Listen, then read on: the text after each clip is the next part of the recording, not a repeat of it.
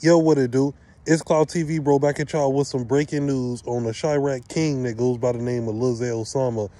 Now, it just recently looked like Lil Zay Osama has been released from a jail. I think it was a New Jersey jail, if I believe.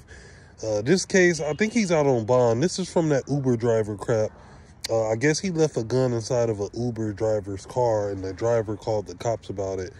Uh, he was asking, you know, uh, Jay Z, people like Kanye, you know, to help him out to get him out of jail because that gun had a switch on it, and the switch is illegal. You know, it's a modification of your gun that to to make it shoot from single shot to automatic. It's crazy. But uh, if you're looking at the picture uh, on the thumbnail, that is Lil Osama holding his kid. He looks very happy to be out that jam, but you got to think about it. He still got to go to court for this. I think this is just a bond. I think he was just released on bond. But you got to be careful out here, man. You know, I never leave my blick. No, what? You know, that thing's supposed to be attached to that boy, you know, like his arm, basically.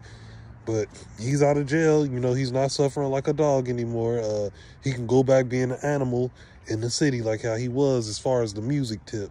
You know, uh, that's what's up, man. We were saying free Osama, and I guess that dream has come true. This young man is out of jail. Uh, question of the day. Do you think Lil Osama is out on bond, or do you think the case is just dropped? Y'all let me know what y'all think. If you can, donate to Clout TV. Super thanks to uh, the video. If you can't donate to Clout TV, we still bopping with you a long way. Like the video, subscribe to the channel, turn on all post notifications. Uh, we appreciate all y'all, man. Happy Friday. Y'all have a blessed Friday, man. Uh, like I said, subscribe to the channel, bro. Uh, it's Clout TV, and we out of this thing. Gang.